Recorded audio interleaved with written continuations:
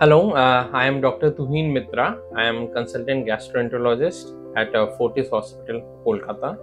Uh, today I am going to talk about uh, uh, investigation that we do that is endoscopic ultrasound.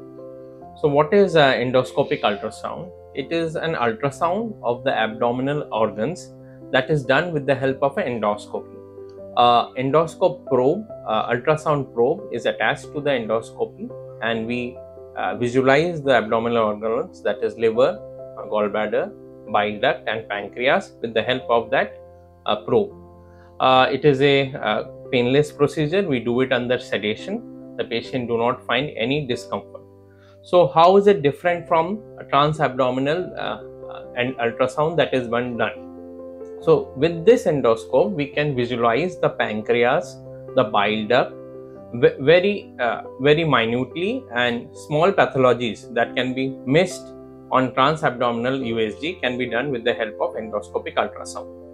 And it is also beneficial for therapeutic wise like we can do biopsies of pancreatic masses we can do biopsies from intra-abdominal lymph nodes we can do therapies like pancreas pancreatic cystic collections that can be drained with the help of endoscopic procedures which avoids major surgery for the patient.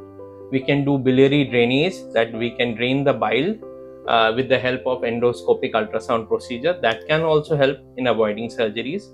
And certain advanced malignancies like gallbladder malignancies, pancreatic malignancies, we can block the celiac plexus that is the nerve which leads to pain in these diseases.